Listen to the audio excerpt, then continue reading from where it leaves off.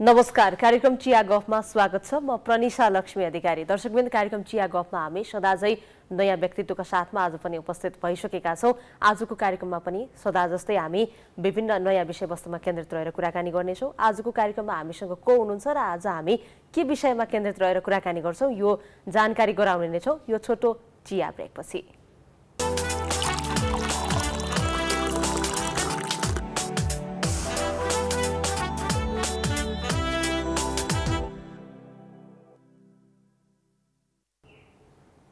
यो छोटो चिया ब्रेकपछि फेरि पनि स्वागत छ कार्यक्रम चिया गफमा। आज हामी कुराकानी गर्नेछौँ मृगौलाको बारेमा। लामो समयदेखि मृगौला रोग विशेषज्ञ भएर काम गरिरहनुभएका वरिष्ठ मृगौला रोग विशेषज्ञ डाक्टर ऋषि कुमार काफले आज हामीसँग हुनुहुन्छ। उहाँसँग हामी यो क्षेत्रमा आबद्ध भएर काम गर्दै गर्दाका अनुभवहरू पनि साट्नेछौँ र यो मृगौलाको विषयमा केन्द्रित रहेर पनि कुराकानी गर्नेछौँ। डाक्टर स्वागत छ यहाँलाई कार्यक्रममा। धन्यवाद। आराम हुनुहुन्छ डाक्टर? ठिक छ। केमा व्यस्त हुनुहुन्छ अहिले? डाक्टरको काम के हो बिरामी हेर्ने, गर्ने। उपचार गर्ने। त्यसैमा व्यस्त. हामी चिया गफमा छौँ। चिया खाँदै यो कार्यक्रम। धन्यवाद चियाको लागि। चिया कतिको लिनुहुन्छ यहाँले? मौका मिल्दा। हजुर। तर जुर्क उठ्ने बित्तिकै चिया खाने बानी छैन। हजुर। के गरौँ के गरौँ भने चिया खाने बानी छैन। खाना खाएपछिको बहतको पिरियडमा अनि चिया खाउँ कि? अथवा खाजा खाएपछि चिया खाउँ कि भन्ने चाहिँ खाली पेटमा चिया खान चाहिँ त्यति रुचाउँदिनँ। दिनको सुरुवात कसरी गर्नुहुन्छ? अब नेपालीहरूको बानी कस्तो हुन्छ भने बिहान उठ्ने बित्तिकै चिया हाने भन्ने हुन्छ। तपाईँको चाहिँ दिनको सुरुवात कसरी हुन्छ? बिहान म उठेपछिको बहतको पिरियडमा अलिकति एक्सर्साइज गर्छु। सूर्य नमस्कार योग गर्छु। कति बिस पच्चिस मिनट गरेपछि त्यसपछि नुहाइ धुवाइ नुहाइ धुवाइ गरेपछिको रूपमा म पूजापाठमा जान्छु। ध्यान गर्छु। अलिकति जप गर्छु होइन? त्यसपछिको रूपमा अनि मेरो ब्रेकफास्टको टाइम हुन्छ। अनि ब्रेकफास्टको टाइममा ब्रेकफास्ट खान्छु। सामान्यतया ब्रेकफास्ट भनेको फलफुल। फलफुल मात्रै खान्छु। त्यसपछिको रूपमा दिउँसो दुई बजी आएर दुईदेखि तिन कति बज्छ भने हिसाबमा त्यो समयमा आएर अनि दाल भात तरकारी खान्छु। र फेरि काम गर्न जान्छु। काम गरेर बेलुका फर्केर आएपछिको रूपमा आठ बजीदेखिको साढे आठको बिचमा फेरि अलिकति भनौँ न तरकारी चिउरा अथवा चाहिँ रोटी चिउरा रोटी तरकारी त्यस्तै खालको रूपमा चाहिँ खानेकुरा खान्छु। बिहानको सुरुवात चाहिँ योग अभ्यासबाट हुन्छ तपाईँको। दैनिकी चाहिँ कसरी चलिरहेको हुन्छ? अब यो खानेकुरा सेड्युलहरू भयो अब चिकित्सकको सेड्युल चाहिँ एउटै हुँदैन भन्ने एउटा हुन्छ होइन? तपाईँको कसरी चलिरहेको छ अनि मेरो जस्तो भनौँ न म अहिले हाल चाहिँ आठ बजीदेखि एक बजीसम्म मेरो ओपिडी। मेडिसिटीमा छु। मेडिसिटीमा ओपिडी भएपछिको रूपमा दुई बजीसम्म मेरो सिद्धिन्छ लगभग। त्यसपछिको रूपमा म घर आउँछु आएर खाना खान्छु। लगभग नजिकै बस्छु। मेडिसिटीको नजिकै भएको हुनाले म पाँच मिनटमा चाहिँ घर पुग्न सक्छु। खाना खान्छु खाना खाएपछिको पिरियड तिन बजीतिर म निक्लिन्छु। मेरो फेरि अर्को काम छ। मृगौला राष्ट्रिय मृगौला उपचार केन्द्र वनस्थलीमा तिन दिन आइतबार मङ्गलबार बिहिबार। र राष्ट्रिय मृगोपचार केन्द्र गौशालामा सोमबार र बुधबार। गर्दाखेरि आइतबारदेखि बुधबारसम्म बिहान आठदेखि बेलुका आठसम्म म व्यस्त। काममै व्यस्त हुनुहुन्छ। मृगौला उपचारमै रोगीको हुनुहुन्छ। उपचारमै म चाहिँ व्यस्त दिशामा रहन्छु। तपाईँले यो क्षेत्रमा आबद्ध भएर काम गर्नुभएको धेरै समय भइसकेको छ। अनुभव कस्तो भइरहेछ? होइन अब यसो भयो। सन्तुष्टि छ।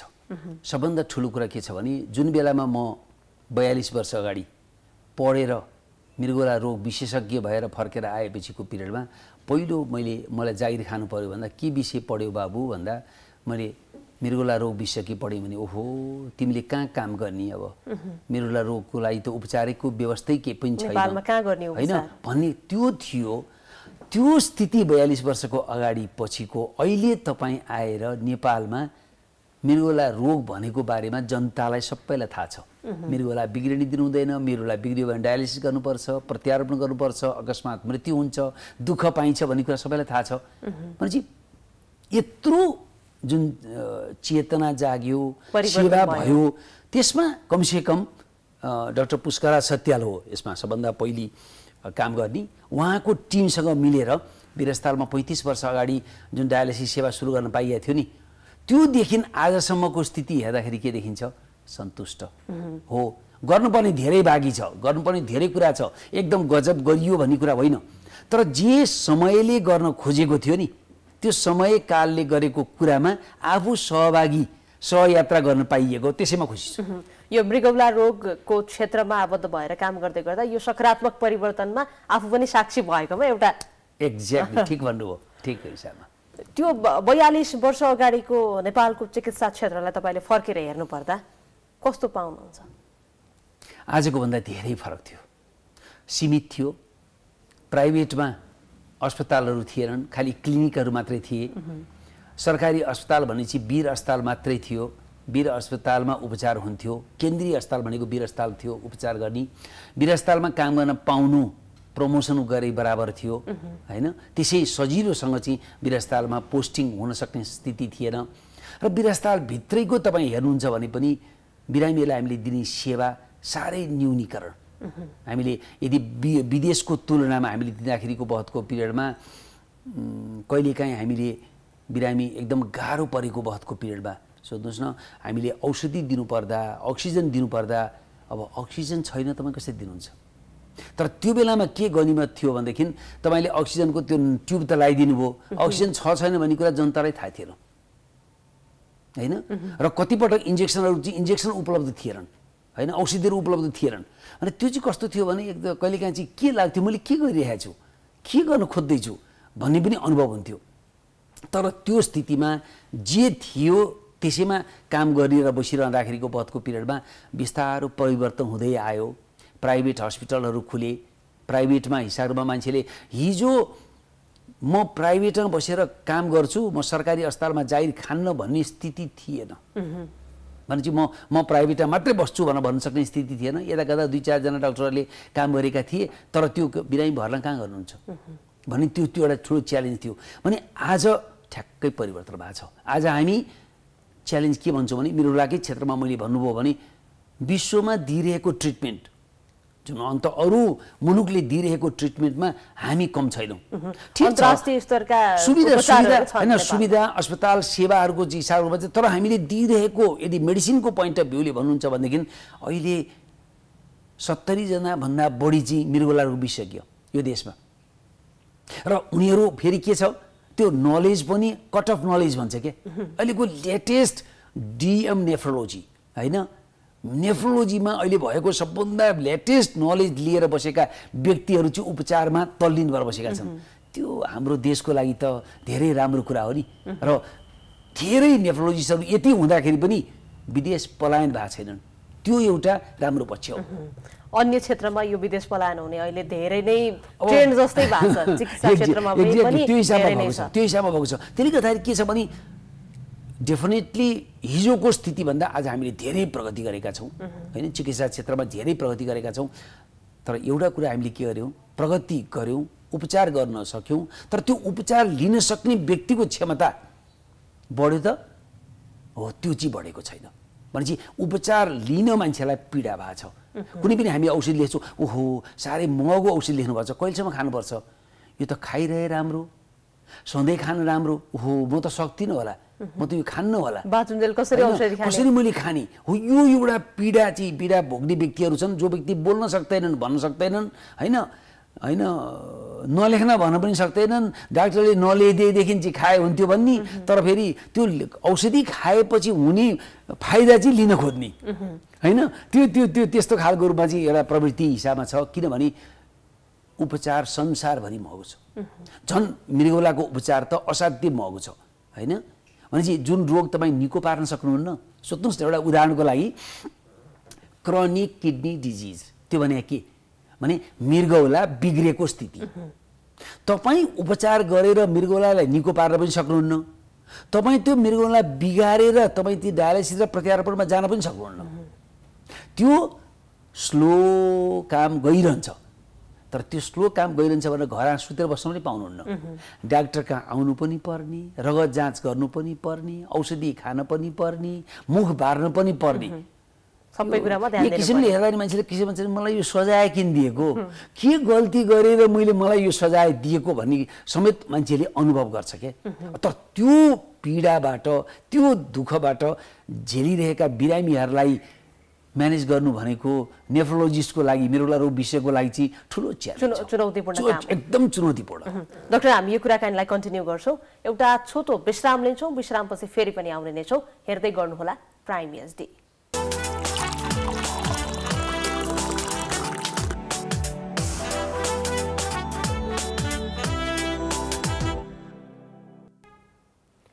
यो छोटो विश्रामपछि फेरि पनि स्वागत छ। कार्यक्रम चिया गफमा। चिया गफमा आज हामी वरिष्ठ मृगौला रोग विशेषज्ञ डाक्टर ऋषि कुमार काफ्लेसँग उहाँका अनुभवहरूको विषयमा पनि केन्द्रित रहेर कुराकानी गरिरहेका छौँ। यसका साथसाथै नेपालमा मृगौला रोगको अवस्था बिरामीको अवस्था कस्तो छ यो विषयमा पनि अब केन्द्रित हुनेछौँ। यो विश्रामपछि फेरि पनि स्वागत छ। धन्यवाद। डाक्टर हामीले अगाडि अलिकति यो मृगौला रोगको क्षेत्रमा कस्तो परिवर्तनहरू भयो कुरा गऱ्यौँ। तपाईँको बारेमा अलिकति कुरा गर्न चाहे। तपाईँले यो चिकित्सा क्षेत्रमा आबद्ध हुने सोच कसरी गर्नुभयो? त्यसमा पनि मृगौला रोगलाई नै कसरी चुन्नुभयो? सबै कुरा कस्तो हुन्छ भने कुनै कुरा कहिलेकाहीँ जिन्दगीमा तपाईँ हामीले चाहेको कुरा हुन्छ भन्न खोज्ने हिसाबहरूमा हुन्छ।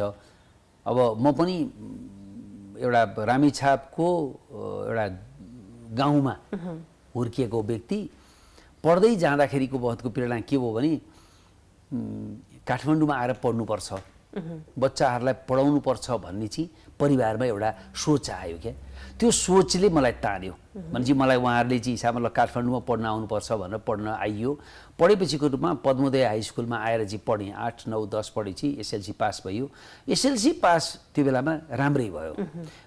त्यो बेलाको लागि फर्स्ट डिभिजन भन्थ्यो पच्चिस सालमा।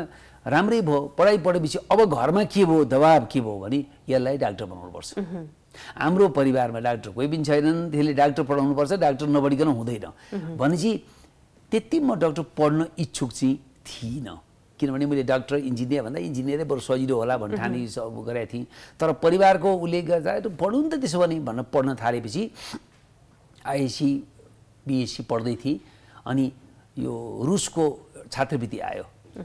जनमैत्री विश्वविद्यालय पिपुल्स फ्रेन्डसिप युनिभर्सिटीको छात्रवृत्ति आयो त्यो छात्रवृत्तिमा एप्लाई गरेको पाएँ। पाएपछि म रुस पढ्न गएँ पढ्न गएपछि एक वर्ष रसियन भाषा छ वर्ष त्यहाँको बेसिक पढाइ पढेपछि त्यहाँ senior doctor Abanibhushan Upadhyay doctor बमले के भन्नुभयो भने ए नेपालमा नेफ्रोलोजी विषयमा त्यति वि- विशेषज्ञ छैनन्। तिमीलाई पढ्न मन लाग्छ भने पढ है। भनेपछि मैले मेरो प्रोफेसरलाई गएर के भने भने मलाई यसो यसो भनेर साथीहरूले भनेको छ मलाई चाहिँ नेफ्रोलोजी पढ्न मिल्छ भने किन नमिल्ने? म तिमीलाई स्पेसल इन्स्टिच्युटमा मस्कोमा पठाइदिन्छु। भनेपछि म त्यहाँ पढ्न गएँ। पढेर लगभग तिन वर्ष पढेपछि मलाई के भयो नि अब अब चाहिँ पढ्नु मन लागेन। अब यो चाहिँ अति भयो धेरै भयो। यो दसौँ वर्ष पढिसकेपछिको पिरियडमा विदेश बसेपछि भएन भनेर अनि अनि अनि म त्यसपछि म नेपाल फर्केर आएँ। फर्केर आएपछिको पिरियडमा अब यहाँ त किन पढेर आएको मेरो लागि विशेषज्ञ के कहाँ जागिर खाने? कहाँ जागिर खाने भन्ने थियो। त्यसैले लड्दै पढ्दै भन्नुहुन्छ लाहानमा कान्ति अस्पतालमा एकचोटि फेरि वीरमा त्यहाँबाट पोखरा अस्पतालमा गरेपछि बल्ल बल्ल जब भारत सरकारले वीर अस्पतालमा त्यो नयाँ भवनको त्यो ओपिडीको भवनको उद्घाटन गर्दा डायलिसिस मेसिन दियो क्या डायलिसिस मेसिन दिएपछि के खोज्यो? ए यो डायलिसिस गर्न जान्ने मान्छे र सि सिकेका मान्छे को छन् पढेर आएका मान्छे भने चाहिँ अनि मेरो नाम स्वत अटोमेटिकली म पोखराबाट काठमाडौँ आएँ। त्यसपछि अनि हामीले पैँतालिस सालमा डायलिसिस विधिवत सुरु गरियो। यसरी हाम्रो चाहिँ अगाडि बढियो। आफ्नो इच्छाले भन्दा पनि घर परिवारको इच्छाले चाहिँ यो क्षेत्रमा आबद्ध हुनुभयो। अब त्यो यो कस्तो छ भने अहिलेको जेनेरेसनलाई के थाहा छ? म यो बन्ने यो हुने त्यो हुने भने एक्सपोजर छ ज्ञान छ थाहा छ। हाम्रो त्यो बहतको पिरियडमा के छ? राम्रो पढ्ने व्यक्ति राम्रो कसैले पढ्यो भने त्यो व्यक्ति। कि? डक्टर बन्ने कि? इन्जिनियर बन्ने। त्यति हो दुईवटा कुरा। त्योभन्दा बाहेकको कुरा हिसाबमा थिएन। अनि स्कलरसिप पढ्न जाने। भने त्यही हिसाबमा थियो। त्यसले के छ भने परिवारको चाहनाले अवश्य पनि डाक्टरतर्फ मोड दिएको चाहिँ हो। यो तपाईँको एउटा पेसा त भइहाल्यो चिकित्सक पेसा भइहाल्यो। त्यो बाहेकका अरू कुराहरू चाहिँ के छन् जुन तपाईँलाई अझै पनि गर्न रुचि छ? अब यसो भयो म यति यो पेसामा रमाएँ। यति पेसामा रमाएँ भन्न कुरा खोजेको कुरो के भने बिरामीलाई आज म जहाँ जुन बिरामीले भनौँ न मान्छेहरूले चिन्ने यो डाक्टर हो यो मृगौला रोगको काम गरेको व्यक्ति डाक्टर भनेर चिन्ने हिसाबमा छ त्यो गराएको कसले? सो त हामीले सोध्छौँ कि मैले गरा? होइन। मैले गरेको प्रयासलाई जनताले स्वीकार गरे। उनीहरूले चित्त बुझाए। भन्नुहोस् न आज मैले वीरस्थलमा छोडेको। लगभग भनौँ न चौबिस पच्चिस सत्ताइस वर्ष हो ल। सत्ताइस वर्ष अगाडि मैले चाहिँ विरस्टल छोडेको। तै पनि प्रतिको माया प्रतिको त्यो हिसाबमा सद्भाव विरस्टलमा काम गर्ने डाक्टर नर्सेसहरूको चाहिँ त्यो हिसाबमा चाहिँ एउटा चाहिँ सहयोग लिने भावना। मैले आफूले के गर्नु पऱ्यो भने गर्न सक्ने। त्यो हिसाबमा गर्दा र बिरामीहरूलाई कसरी सेवा दिन सकिन्छ? मेन मेन के रह्यो? बिरामीलाई सेवा दिने। मेरो होल जीवनको प पछि भन्नुहुन्छ तपाईँले हिसाबमा भने आफूलाई अन्तर्राष्ट्रिय लेभलको चाहिँ हिसाबमा ज्ञान लिन मैले कसरी सक्छु? त्यो ज्ञानलाई मैले व्यवहारमा उतार्न कसरी सक्छु? यसैमा रमाएँ। यसैले रमाउँदाखेरि के छुट्यो? धेरै कुरा छुट्यो तपाईँलाई हिसाबमा चाहिँ यदि तपाईँलाई घुम्न जानु मन लाग्छ कहाँ घुम्न पाउनुहुन्छ? पाउनुहुन्न। म आराम गरेर बस्छु। कहाँ आराम गरेर बस्नु पाउनुहुन्छ? होइन बिरामी आफू नहुँदाखेरिको त तपाईँ नहुँदाखेरि मलाई अप्ठ्यारो पऱ्यो। तपाईँ नहुँदाखेरि योहरू भएर तपाईँ कहाँ जानुभएको थियो भनेर अहिले फेरि पछिल्लो समयमा मोबाइल भएपछि त घन्टी बजिहाल्छ। होइन? सोधिहाल्छन् बिरामीले। भनेपछि बिरामीले शान्तसँग बस्न दिँदैनन्। एकचोटि भएको थियो।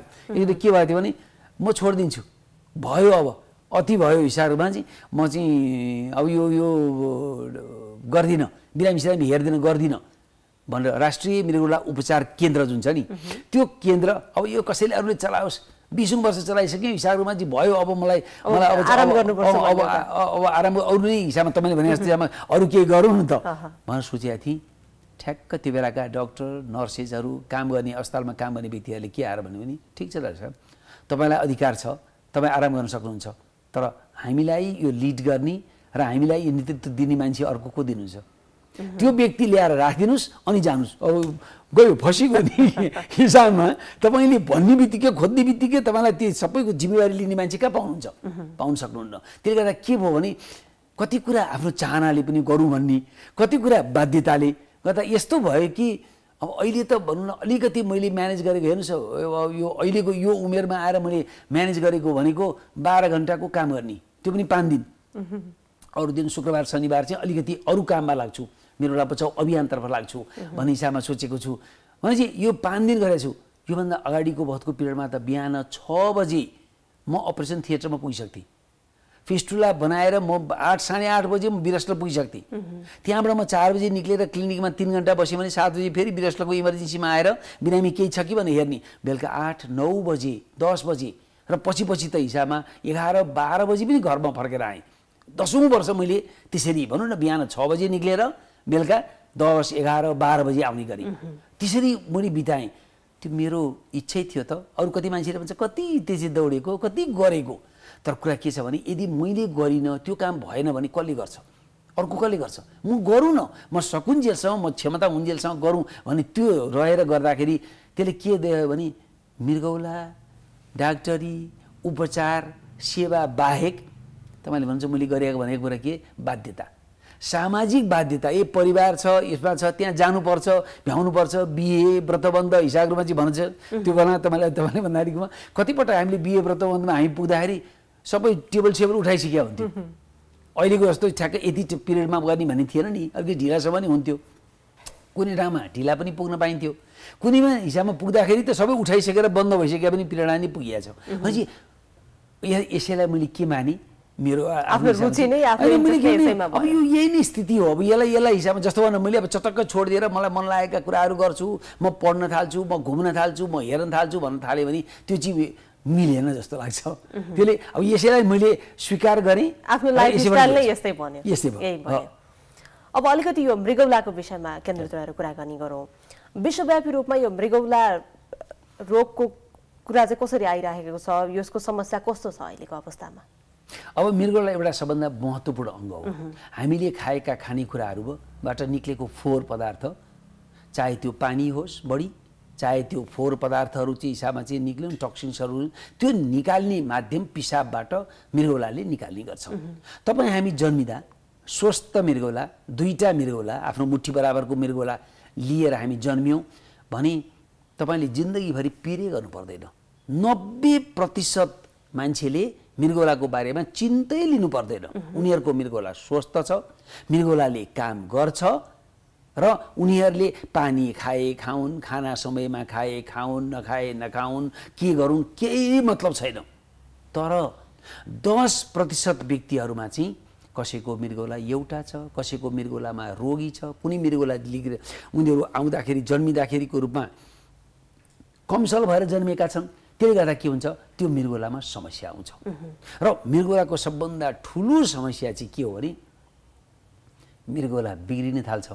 चाहे त्यो उच्च रक्तचापले होस् चाहे त्यो मधुमेहले होस् चाहे त्यो औषधि जथाभावी खाएको कारणले होस् पानी नपिएको कारणले होस् मृगौलामा पत्थरी भएको कारणले होस् अथवा जेनेटिक हिसाबमा पोलिसिस्टिक किडनी डिजिज भएर होस् मृगौला बिग्रिएको पत्ता लाग्दैन। तपाईँ हामी दैनिक खाना खाइरहेका छौँ हिँडिरहेका छौँ पिसाब फेरिरहेका छौँ मृगौला बिग्रिरहेछ। थाहा छैन। र हाम्रो ट्रेडिसनल सोचाइ के भयो भने जब मलाई अप्ठ्यारो पर्छ नि अनि म अस्पतालमा जाने डाक्टर कहाँ जाने एकदमै गाह्रो अवस्था ठ्याक्कै हेर्नुहोस् है। कस्तो भने ट्रेडिसनल के छ तपाईँलाई समस्या पर्यो तपाईँ अस्पताल जानुहोस्। समस्या परेन भने किन अस्पताल जाने? त्यो भएको एउटा सोच र हाम्रो सिस्टम अहिलेको हेल्थ सिस्टमले के भन्छ? ए तपाईँ स्वस्थ हुनुहुन्छ आउनुहोस् भनेर भन्दा यो अलिकति एजुकेटिभ हेल्थ चेकअपहरू बाहेक अरू कहाँ छ?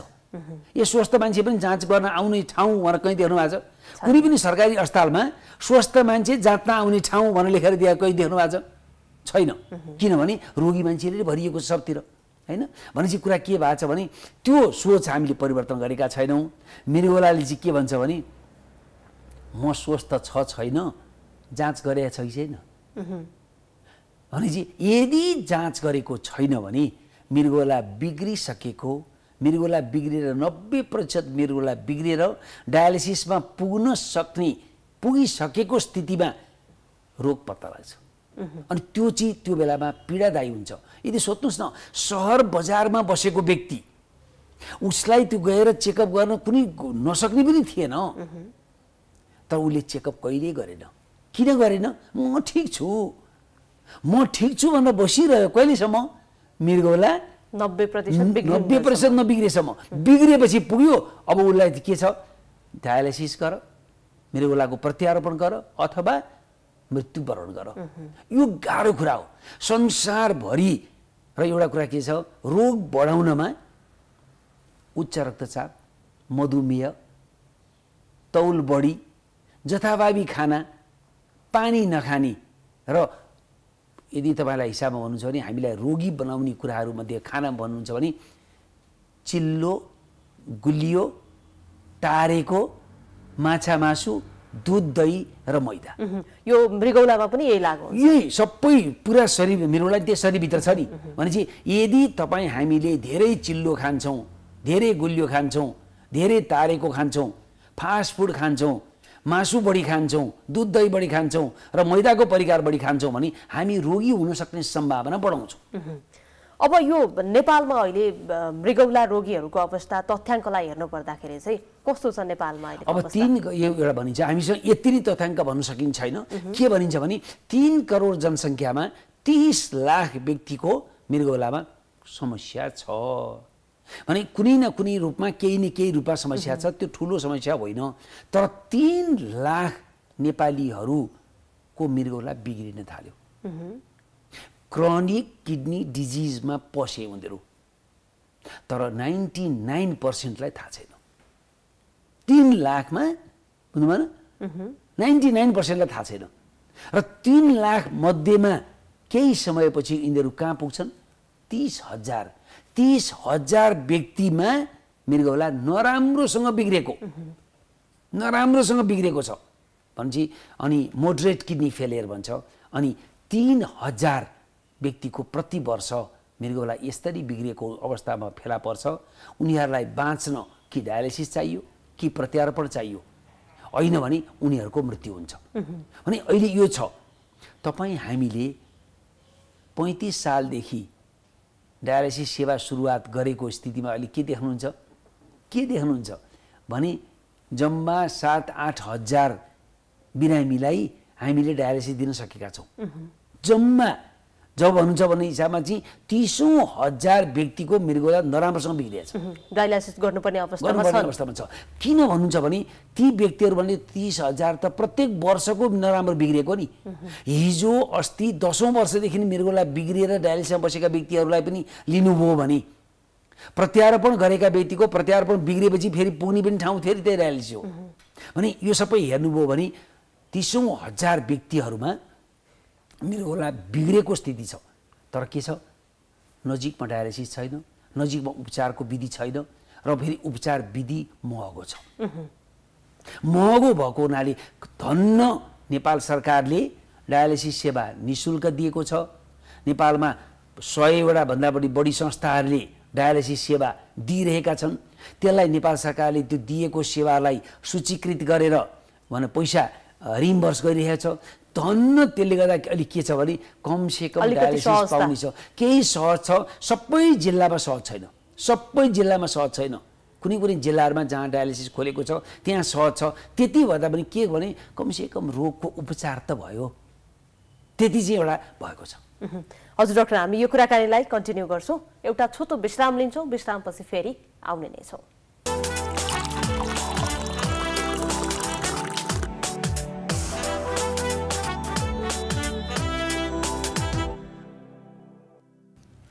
यो छोटो विश्रामपछि फेरि पनि स्वागत छ। कार्यक्रम चिया गफमा चिया गफमा आज हामी मृगौलाको विषयमा केन्द्रित रहेर कुराकानी गरिरहेका छौँ। कुराकानीका लागि आज हामीसँग हुनुहुन्छ वरिष्ठ मृगौला रोग विशेषज्ञ डाक्टर ऋषिक कुमार काफले। यो विश्रामपछि फेरि पनि स्वागत छ। धन्यवाद। डाक्टर अगाडि हामीले यो तथ्याङ्कको बारेमा अलिकति कुराकानी गर्दैथ्यौँ। एक्ज्याक्ट हामीसँग कति बिरामीहरू छन् भन्ने त डाटा भेटाउन अलिकति मुस्किल नै पर्छ। यो तपाईँले अगाडि भन्नुभयो जसरी मृगौलाको समस्या चाहिँ बढ्दैछ मृगौला रोगीहरूको तथ्याङ्कले चाहिँ बढिरहेको देखाउँछ। यो समस्या बढ्नुको मुख्य कारण चाहिँ के हो? अब तपाईँ हामी आफ्नो मृगौलाप्रति सजग भयौँ। मेरो शरीरमा मृगौला छ यो मृगौला बिग्रिन सक्छ बिग्रियो भने दुःख पाउँछु। त्यसैले मैले यो मृगौला स्वस्थ राख्नुपर्छ है भनेर सोच बनाउनु भयो भने त्यो मृगौलाको समस्या समयमै पत्ता लगाउनु होला र रोग पत्ता लागिहाल्यो भने पनि उपचार भइहाल्ला। तर हामी ढुक्कसँग के बस्ने बानी छ भने मलाई केही समस्या छैन भनेर बस्ने बानी र हामीले सिकाएको पनि त्यही छ। समस्या भयो भने जाउँ अस्पताल भनेर भनेको कारणले गर्दाखेरि के भएको छ भने रोगीहरू ढिलासम्म घरमा बस्छन्। एउटा एउटा त्यो कारण हो। दोस्रो कुरा मृगोला बिगार्ने रोगहरू हेर्नुभयो भने मैले अगाडि पनि कोट्याएँ। उच्च रक्तचाप मधुमेह र मृगोलाका आफै रोगहरू। त्यो जस्तो पोलिसिस्टिक किडनी डिजिज भन्छ क्या। जन्मजातै त्यो पानीको फोका भएर किडनी मृगोला बिगार्ने। र अर्को कुरा के? जथाभावी औषधि खाने। हाम्रो बिग्रँदो जीवनशैली। बिग्रँदो जीवनशैली र खानपिनमा उ नगर्ने कारणले गर्दाखेरि के हुन्छ? मृगोला बिग्रिन सक्छ। मृगोला बिग्रिने कारणहरू बढ्दो छ। रक्तचाप भएका मान्छेहरू बढ्दो छन्। रक्तचाप भएका मान्छेहरू बढी समय बाँच्दैछन्। मधुमेहको समस्या बढ्दो छ। मधुमेह भएका व्यक्तिहरू बढी बाँच्दैछन्। भने उच्च रक्तचाप र मधुमेह भएका व्यक्तिहरू जति बढी लामो बाँच्छन् उनीहरूको अङ्ग भङ्ग हुन सक्ने सम्भावनामा मृगोला पनि पर्छ। त्यसैले मृगोला रोगी आउँदा दिनमा बढ्दै जानेछन्। यतातर्फबाट त्यो पाठ छ जबसम्म हामीले हरेक व्यक्तिलाई मृगौलाप्रति सचेत गराउँदैनौँ। र त्यो व्यक्तिले ए मैले चुरोट खैनी खान नहुने रहेछ। मैले पानी पिउनु पर्ने रहेछ। मैले स्वस्थ जीवनशैली अपनाउनु पर्छ भने जबसम्म उसले गर्दैन नि। ज्ञानले मृगौला स्वस्थ हुँदैन। मृगौला स्वस्थ राख्नलाई चाहिँ अब पानीको विशेष महत्त्व रहन्छ भनिन्छ। पानी कति खानुपर्छ मृगौलालाई स्वस्थ राख्नलाई चाहिँ? कति पानी पिउनुहुन्छ भन्दा पनि कति पिसाब फेर्नुहुन्छ। तपाईँले खाएको पानी पसिनाबाट निक्लियो कि अन्य माध्यमबाट निक्लियो कि अब कसैको चाहिँ पखाएर लाग्यो डायरिया भयो होइन? भने त्यहाँबाट पनि त पानी गयो नि त। भने त्यस्तो खालको रूपमा भन्दा पनि कुरा के छ? खल खल पसिना काटेको छ। पानी खाछ। मैले त पानी खाछु भन्छ। तर पसिना काटेको व्यक्तिले पिसाब कम फेरेको छ। त्यसैले हामीले मृगौलाको कुरा गर्दा के भन्छौँ भने तपाईँले कम्तीमा दुई लिटर नभए दिन तिन लिटर पिसाब फेर्नु चाहिँ फेर्नु न। चौबिस घन्टामा दुईदेखि तिन लिटर पिसाब फेर्नको लागि तपाईँ कुन वातावरणमा हुनुहुन्छ? घाममा बस्नु भएको छ खेत जोतिरहनु भएको छ काम गरिरहनु भएको छ खलखल पसिना निकालिनु भएको छ अथवा तपाईँले एकदम जिममा चाहिँ एक्सर्साइज गरेर चाहिँ खलखल पसिना निकालिरहनु भएको छ भने पानीको मात्रा बढी पिउनुपर्छ। र कति पिएँ भन्दा पनि मैले कति पिसाब फेरेसँग महत्त्व लाग्छ? दुईदेखि तिन लिटर पिसाब फेरियो चाहिँ पानी भने त्यो। चाहिँ त्यो मान्छेले पानी ठिक पिएछ भन्ने बुझिन्छ। र हामीले एउटा कुरा बुझ्दा के बुझ्नुपर्छ भने पानी भनेर पानी मात्रै नसोध्नुहोस् न। पानी भनेर चिया पनि पानी तरकारी पनि पानी। त्यसपछि रूपमा तपाईँले हिसाबमा चाहिँ भातमा पनि पानी छ तरका अरू हिसाबमा चाहिँ पानी छ। भनेपछि तपाईँले अरू खाएका कुरा सबै कुरा गर्दा झोलिए पदार्थहरू चाहिँ कमसेकम न्यूनतम तिन लिटर चाहिँ चौबिस घन्टामा हुनैपर्छ। अब यो मृगौलाको लागि मात्रै लागु नहुने भयो यो कुरा चाहिँ। के खाँदाखेरि चाहिँ मृगौलालाई स्वस्थ राख्न सकिन्छ? पानी त भइहाल्यो एउटा कुरा। होइन पानी एउटा कुरा भयो भने अर्को एउटा नभई नबनी नहुने कुरा चाहिँ के छ भने तपाईँले शरीर स्वस्थ राख्न चाहनुहुन्छ जुन शरीरभित्र मृगौला छ भने तपाईँ हिँड्नुहुन्छ कति? कति हिँड्नुहुन्छ? कति एक्सर्साइज गर्नुहुन्छ? कति व्यायाम गर्नुहुन्छ? भनेपछि कुरा के आउँछ? अब यो के के को आधार भन्नुहुन्छ भने हिसाबमा अमेरिकन सोसाइटी अफ कार्डियोलोजीले होइन अमेरिकामा चाहिँ गरेर उहाँहरूले के भन्नुभयो भने यदि कोही मान्छे स्वस्थ रहन चाहन्छ भने त्यो मान्छेले दस हजार पाइला हिँड्नुपर्छ। दस हजार पाइला हिँड्नुपर्छ। यो कुनै नेपालीले भनेको होइन होइन? अमेरिकन वैज्ञानिकहरूले त्यो त्यो अमेरिकामा बसेका व्यक्तिहरूलाई तिमीहरू दस हजार पाइला हिँड्यौ भने तिमी स्वस्थ रहन सक्छौ। भनेर भनेको कारणले गर्दा दस हजार पाइला भनेको सात किलोमिटर। भनेपछि तपाईँ दुई किलोमिटर त यता कता हिँड्नु होला टाकन टुकन तल भिसामा त जहाँ जाँदा ओर्दा हिसाबमा। तपाईँ यदि तपाईँले पाँच किलोमिटर हिँड्नु भएन भने तपाईँले सात किलोमिटर टार्गेट त पुर्याउन सक्नुहुन्न। भनेपछि सात किलोमिटर टार्गेट पुर्याउन पाँच किलोमिटर हिँड्नु पर्ला। र त्यसमा पनि न्यूनतम झारेर के भनिएको छ भने कम्तीमा तिस मिनट प्रतिदिन हिँड्नै पर्छ। यो कसलाई लागु हुन्छ? स्कुटर चढ्ने मोटरसाइकल चढ्ने होइन? बस चढ्ने अथवा गाडी चढ्ने व्यक्तिहरूलाई।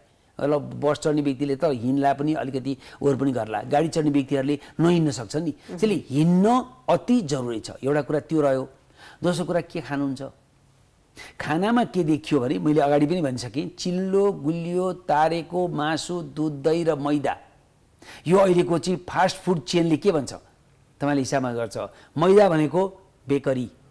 मिट प्रोडक्ट्स भइहाल्यो होइन? दुधको प्रडक्ट्स त्यत्तिकै भइहाल्यो। भनेपछि कुरोमा चिल्लो गुलियो हिसाबमा तपाईँको स्विट्स आइहाल्यो।